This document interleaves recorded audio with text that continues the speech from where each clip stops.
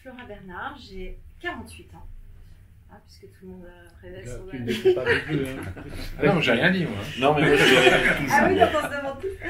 Euh, voilà, j'ai donc j'ai fondé une agence de philosophie il y a une dizaine d'années avec euh, l'idée que la philosophie, et en particulier la philosophie pratique, pouvait aider euh, les dirigeants, les managers, mais en fait euh, tous ceux qui sont euh, dans le monde du travail, à donner, redonner du sens à ce qu'ils font.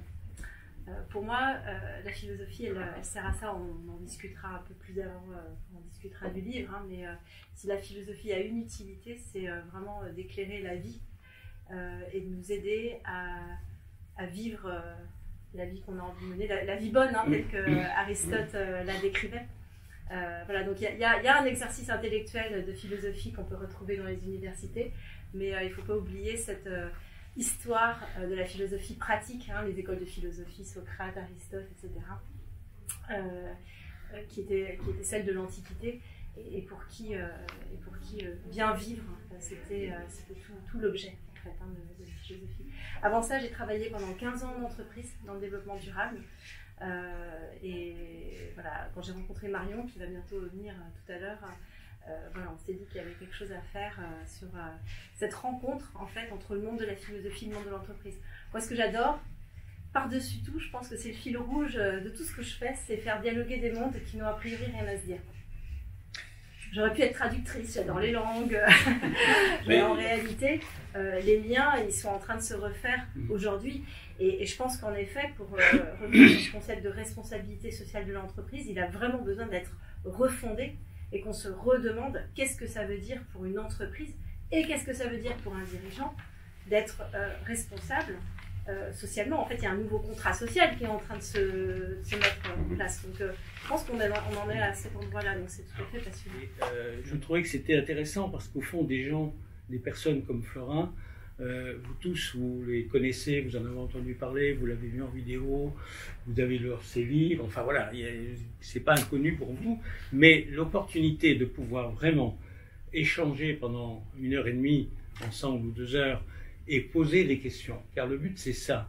Vous c'est c'est dans une conférence, lorsque vous demandez, donnez la parole à la salle, et les questions sont souvent mal posées ou pas comprises. En tout cas, finalement, au bout, vous n'avez pas euh, vraiment ce que vous attendiez. Là, vous avez deux heures, grosso modo, pour harceler Flora. Éthique. Alors, Alors, qu'est-ce que je veux dire quand je parle d'éthique? Éthique, euh, ça vient du grec ethos. Et ethos, ça veut dire plusieurs choses en grec, mais ça veut dire euh, habitat. Ça veut dire habiter. Euh, et donc, quand on parle d'éthique, on se pose la question de comment est-ce que j'habite le monde? Quelle personne est-ce que je suis quand je, j'agis dans ce monde? L'éthique, c'est ça. C'est comment est-ce que je me comporte, en fait? Donc, la dimension euh, éthique des entreprises, c'est le questionnement sur qu'est-ce que je fais quand je fais ce que je fais. En fait, au fond, c'est ça. Oui, la dimension des entreprises à mission, peut-être, que, qui est une forme nouvelle d'entreprise qui peut-être euh, peut donner une idée de ce qu'est euh, l'éthique en entreprise ou de ce qu'elle pourrait devenir. Oui. Alors, après, y a, y a- je, je, je fais une différence entre éthique et morale. Oui. Euh, morale donc, et éthique, ça veut dire à peu près la même chose. Il y a même certains philosophes qui, euh, qui prennent l'un pour l'autre. Il se trouve que moral vient du latin morales et puis ethos, euh, éthique du, grec. Donc l'un vient du latin, l'autre vient du grec. Mais les, les deux font quand même référence aux mœurs, c'est-à-dire au, à co- comment on se comporte collectivement. Alors, c'est vrai qu'il y a quelque chose dans la morale qui est extérieur à soi. On parle de morale religieuse, ou on, parle de morale dans la société. On se comporte comme ceci ou comme cela. C'est la morale de notre époque. Donc, c'est qu'est-ce, que, qu'est-ce qui est dicté par l'extérieur. Euh, moi, je trouve intéressante la définition d'un philosophe qui s'appelle Paul Ricoeur, qui a beaucoup euh, travaillé sur cette question de l'éthique, qui est plutôt un questionnement personnel sur qu'est-ce que je dois faire, comment est-ce que je dois agir. Euh, éclairée par euh, la conscience, qui n'est pas forcément partagée par tous. De ce fait, euh, elle a beau être éclairée, ou on a le sentiment qu'elle est éclairée, cette décision, mais pour autant, elle ne portera des éléments de preuve de- du fait qu'elle était éclairée que parfois des années plus tard. Ouais. Parce qu'on n'en a pas forcément. Une décision ne porte pas immédiatement un résultat lisible, évaluable, euh, qui nous permet de dire c'était la bonne décision dès le lendemain. Tout à fait. Et donc, euh, vous parlez de conscience, et je pense que ça, c'est vraiment un mot qui est extrêmement important. Euh, c'est euh, d'être au clair avec soi-même sur euh, les raisons Oui. euh, pour lesquelles on décide ce qu'on décide. C'est-à-dire, c'est de gagner en conscience euh, par rapport à ce qui motive ma Et décision. donc en intuition. En partie. Mais qu'est- qu'est-ce qui va motiver une décision? En général, quand on décide quelque chose, on pense que c'est bien. On décide rarement en se disant tiens, ça c'est vraiment pas bien, mais je vais quand même le faire. En général, on se dit que c'est plutôt bien. Quelle que soit la définition qu'on a du bien, hein. et d'ailleurs c'est ça qui est intéressant, c'est qu'est-ce que c'est tu semblais Qu'est-ce pas que c'est d'accord. que le bien? Non, je ne suis pas, pas d'accord. Je pense que. euh, alors, moi, je vois ça de mon œil de, de médecin, pour le coup. Euh, il, arrive, parfois de prendre des décisions qui ne sont pas forcément les bonnes, mais c'est la meilleure décision au moment où elle est prise. Et, ça, on le voit en santé d'une manière générale et dans la relation singulière avec le patient. Euh, il est parfois nécessaire de prendre une décision qui n'est pas la décision idéale dans l'absolu, mais qui est probablement la meilleure décision sur le moment, parce que le patient est à ce moment-là disposé à une certaine prise en charge, qui- alors que la meilleure en soi, euh, il n'est pas disposé. Je vous donne un exemple très concret, parce que après, bon, évidemment, tout- toute cette... Quand j'ai lu ce que j'ai lu du livre, je me suis dit, mais c'est pas vrai, euh, elle écrit ma vie, quoi. Et, euh, et en fait, euh, on, on l'apprend en médecine, mais pas grâce à la philosophie, parce qu'on n'est pas éduqué de- comme ça. On l'apprend par imbibition, on l'apprend par intuition, on l'apprend par notre humanité aussi, qui nous est souvent transmise par nos maîtres. Donc quand même, il y a une démarche philosophique. Et si on a eu la chance d'avoir de bons maîtres, alors on peut avoir effectivement sur la, la prise de décision une certaine conscience euh, de ce qui est bien euh, ou de faire le bien. La- quand, quand je dis c'est pas la bonne décision, mais c'est la bonne chose à faire là maintenant, compte tenu de la situation qui est, euh, qui, qui, qui, qui est celle à laquelle on est, on est confronté. Et donc, euh, à mon époque, quand j'avais 20 ans, les décisions que venaient souvent d'en haut, et on ne permettait pas aux autres de prendre de décisions.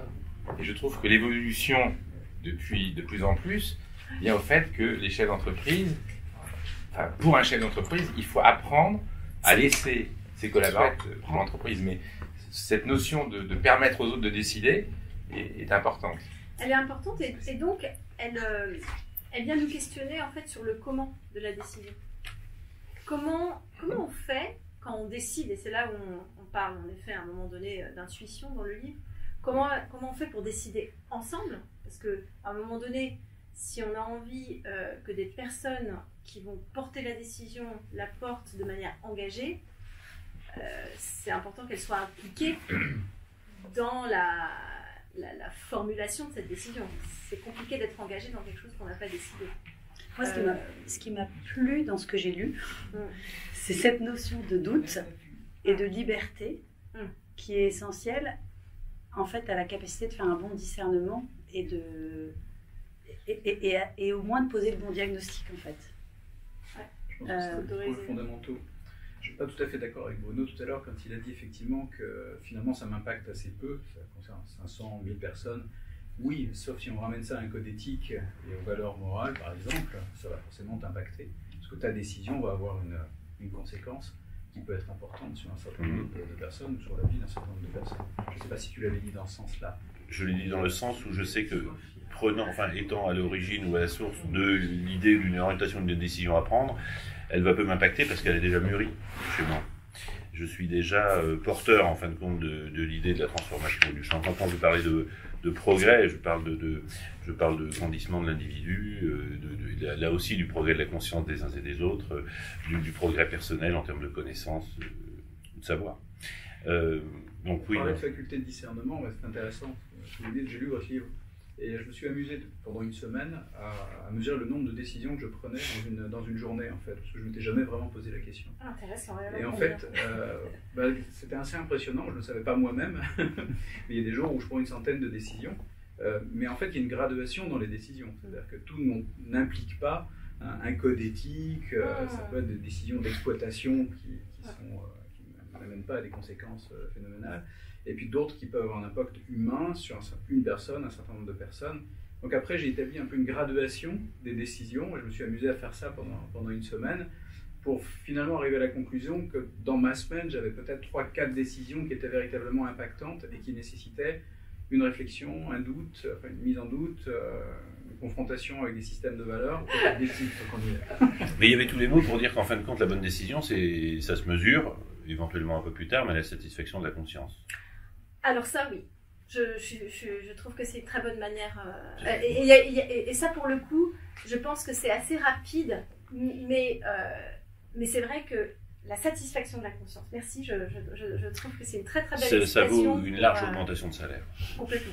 Ah, Ah, bah, ça, c'est sûr. ah oui, je- Ça, moi, c'est j'en sûr. suis intimement convaincu. Et combien d'amis j'ai à mon âge? Qui se retrouvent dans des positions importantes dans les entreprises Mm. et qui se trouvent pieds et mains liés parce que c'est difficile de renoncer quand vous avez grimpé comme ça et vous avez un très haut salaire. C'est pas évident. euh, je peux le concevoir de renoncer à ça et de se dire bon ben allez les enfants euh, je vais c'est fini l'école privée c'est retour dans le public je sais pas il y a plein de il y a plein de conséquences en fait Je trouve, euh, je trouve que les jeunes maintenant sont capables de prendre ce genre de décision. Hum Beaucoup plus que, que, que, que la génération d'avant. Moi, j'ai plein d'exemples de jeunes euh, amis de mes enfants, et mes enfants même, qui ont pris des décisions comme ça, qui étaient tous dans des euh, boîtes euh, assez fortes où il y avait une pyramide, Ouais. et qui à un moment se sont dit euh, non, moi j'arrête, parce que si je continue, un jour on me donnera un chèque, on me dira tu tu t'en vas, voilà, j'aurai 50 ans, et puis voilà. Alors que si je m'arrête avant, Ouais. ce que vous avez fait pour euh, là, là, je recrée quelque chose d'autre, et là je, je vis ma vie. D'abord, je voudrais faire une remarque sur la décision et la décision de rupture euh, qu'on peut prendre plusieurs fois dans sa vie. Et pourtant, au moment où on prend une décision, elle est, bonne pour le moment présent. Et je pense que c'est en fonction de l'évolution, l'évolution du temps, l'évolution biologique, l'évolution sociologique, les voyages qui, nous, nourrissent aussi, euh, la, pensée, la conviction évolue. Et ce qui était vrai à un moment donné ne l'est plus à un autre. Et heureusement qu'on n'est pas figé dès notre adolescence, dès, dès qu'on a fait nos études, parce que sinon la vie serait, serait un emmerdement incroyable. Quand vous êtes en tête à tête, vous vous exprimez de- en général de manière assez sincère et ouverte. Trois, faites un peu attention. C'est pas toujours évident d'exprimer une position différente quand les deux autres sont pas d'accord avec vous. Et alors, dès, dès le nombre de 4, et alors je vous dis pas quand ça fait 20, quand vous êtes le seul à exprimer une, une opinion divergente et que les 19 sont pas d'accord avec vous, hop, vous la mettez sous le tapis. Oui, non, en fait, euh, oui, oui, je suis d'accord avec vous, en fait. Vous voyez, parce que c'est compliqué, ça met une pression forte sur l'individu, la pression du groupe met une pression forte. Euh, je, je crois qu'on on cite toutes les expériences que vous pouvez regarder sur Internet, c'est absolument. Celle-là en particulier avec Solomon Ash, qui a fait des expériences avec des groupes de différentes tailles, etc. C'est assez édifiant. Et je trouve que c'est intéressant de se dire attention, au moment où je prends une décision, est-ce que je suis sous une de ces pressions Est-ce que j'ai pas besoin de prendre cette, prise de recul Et pour revenir à votre sujet sur finalement, est-ce qu'il y a de la place pour la philosophie en entreprise? Oui, il y a le désir de penser. Et je pense qu'il y a un énorme besoin aussi de s'extraire euh, de l'opérationnel pour se demander attends, est-ce que je suis en train de, de faire les choses correctement là?